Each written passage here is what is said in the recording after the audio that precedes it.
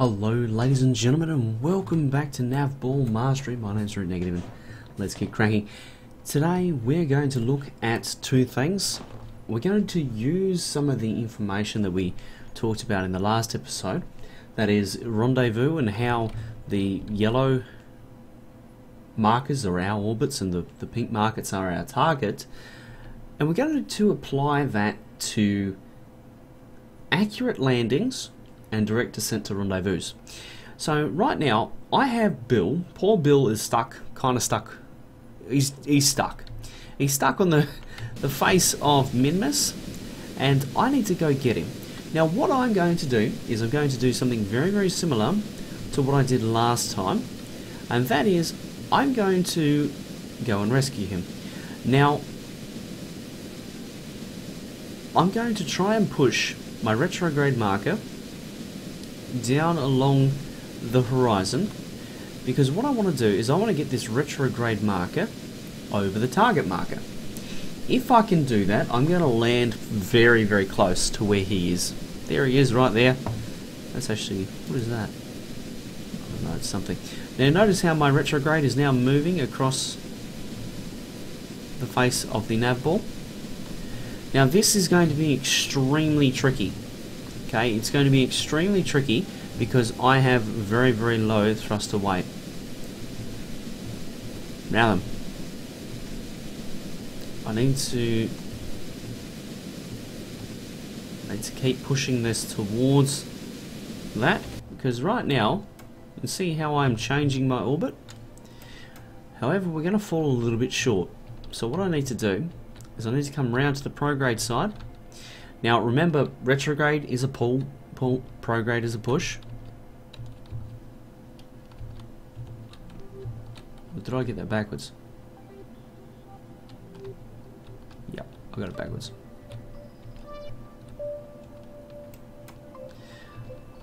Nope, it's definitely a pull. So, prograde is a pull, retrograde is a push, and what I'm doing here is I'm dragging this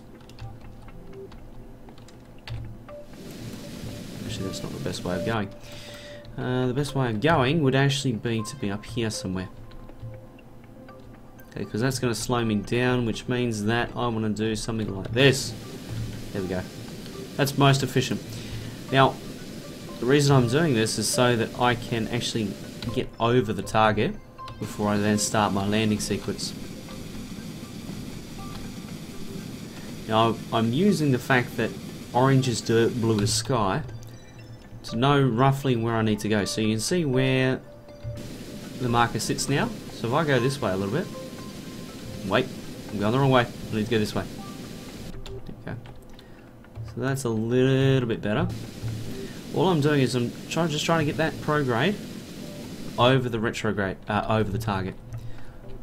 You can see we're a little bit out now, but that's okay because it's all doable. Now, obviously, I'm doing a lot of monkeying around here, and that's okay. Oh, you see, we're much closer now. And I haven't done a single maneuver node. If I had done a maneuver node and done it that way, I could have, you know, potentially uh, had a really, really, really nice encounter. Uh, but I'm talking about navball here. And this, this is probably a, too far away for me to be attempting this kind of shenanigans. And I am actually going to turn this on.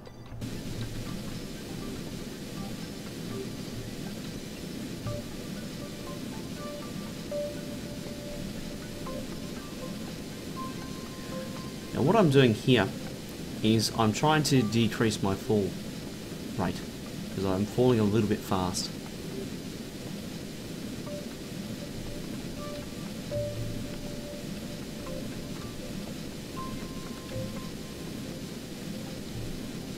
Okay. So now I'm pretty much coming straight over the target. Give or take a little bit. Now what I can do is I can use that information that I've spoke about previously, just getting this, this yellow marker over the pink marker, and I'm going to use that to land with now. Now, important thing, this is with respect to the target, so it may not be perfectly. It should be the surface velocity, it should be. It might not be. No, it should be. It should be the surface velocity. So th this is the same as if I was in this mode. Or slightly not. So there you go. So all I'm doing here is I'm just pushing my retrograde towards the target. I'm just going to keep doing that. See where we're aiming. See how that's suspiciously close. Well, that's what we're going to keep doing. I want a little bit more, a little bit more height though.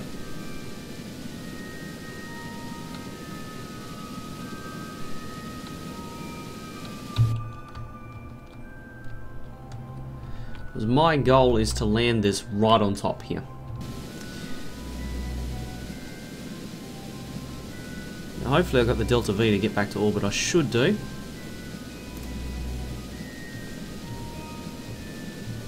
Alrighty. Now you can see, what I'm trying to do is I'm trying to do the exact same landing sequence now, except with a target as well. So I'm trying to get that target up towards the top of the nav ball. Okay, you can see how it's getting close now.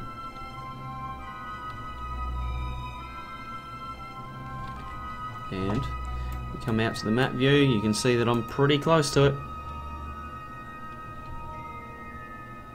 Oh.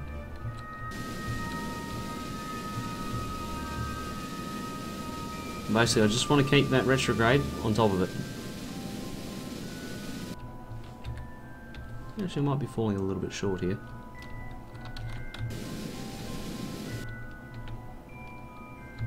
Yeah, that's too short.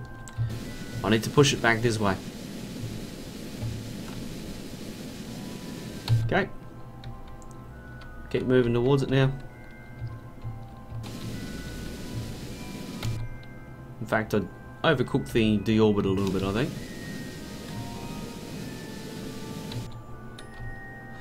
But I'll keep monkeying around with it because I know where I'm going. I know what I need to do. I can't time warp. That's a bugger.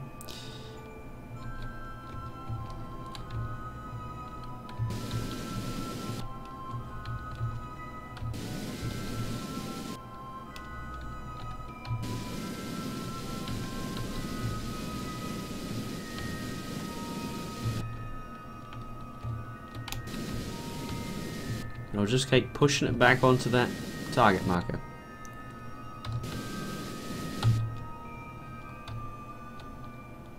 Now the best plan would be to wait until the target actually gets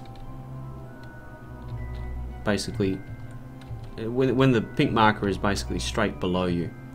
That would be the best plan. Because as you can see, I'm struggling a little bit with this. Like the, the nav ball's giving me the direction I need to go, and I'm just... Because of the, the gravity and the rotation of the planet, it's actually killing everything that I'm doing. It's just washing off all the speed that I'm generating.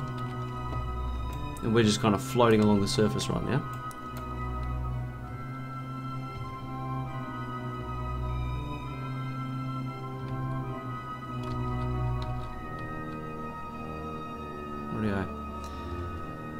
How are we looking?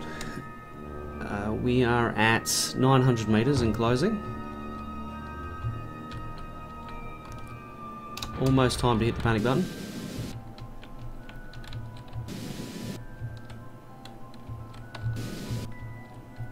Now this may be alarmingly close.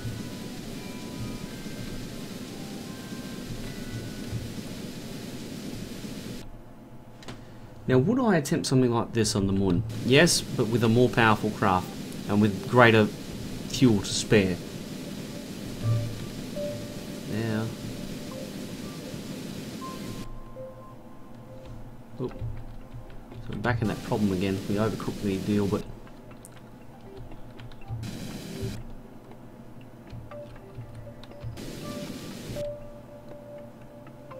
Okay.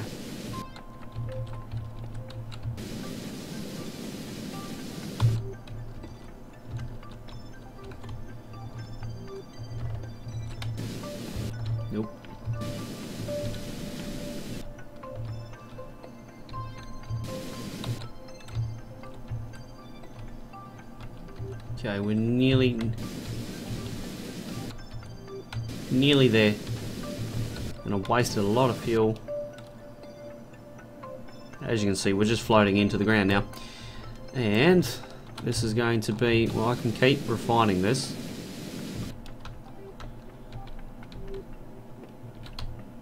That's probably close enough.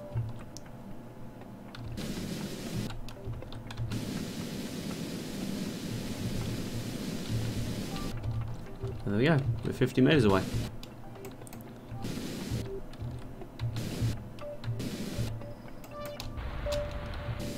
Which is quite manageable for a Kerbal. There we go, done. Now, I just want to show you something very, very quickly. That's where I landed one. That's where I landed another. So these these are 5.6 meters apart. So using this technique, okay, you can land stuff quite close together. And that wasn't particularly good, but it shows you how to use that nav ball. So enjoy that, have a practice at it. Next time you're doing a moon landing, see if you can land next to an old probe or something and use the nav ball. Now I'm going to leave the direct descent to rendezvous to the next episode, so I'll see you then.